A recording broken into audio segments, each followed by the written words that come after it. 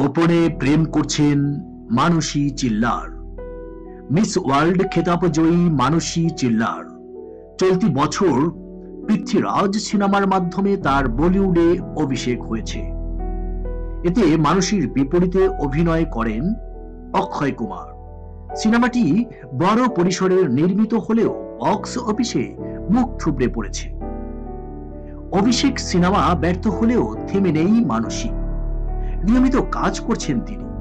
শুধু কাজ নয়, চুটিয়ে প্রেমও করছেন এই অভিনেত্রী। জানা গেছে, নিখিল কামাত নামের একজন ব্যবসায়ীর সঙ্গে প্রেম করছেন এই তারকা। দিন দিন আরও গাঢ় হচ্ছে তাদের এই সম্পর্ক। তারা বিভিন্ন জায়গায় একসঙ্গে ঘুরতে বের হচ্ছেন এবং বিভিন্ন জায়গায় চলে যাচ্ছেন।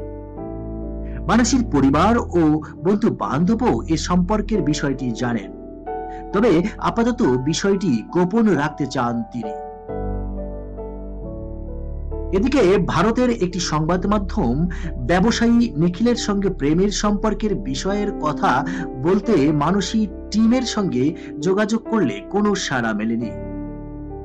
অন্যদিকে নিখিলের টিমের সঙ্গে যোগাযোগ করা হলে এ বিষয়ে মন্তব্য করতে অপারগতা প্রকাশ করেন। উল্লেখ্য বিশ্ব সুন্দরী মানসী অবিবাহিত হলেও তার প্রেমিক নিখিল আগে একটি বিয়ে করেছিলেন। আমান্দা পুরা ভস্কার নামে এক নারীর সঙ্গে দুই হাজার উনিশ সালের আঠারো এপ্রিল ইতালিতে বিয়ে হয় তার। কিন্তু বিয়ের এক বছরের মাথায় আনুষ্ঠানিকভাবে বিচ্ছেদ হয় তাদের। মানুষের পরবর্তী সিনেমা, তেহরান, পরিচালনা করছেন অরুণ গোপালন। সিনেমাটিতে মানসীর সহশিল্পী জন আব্রাহাম।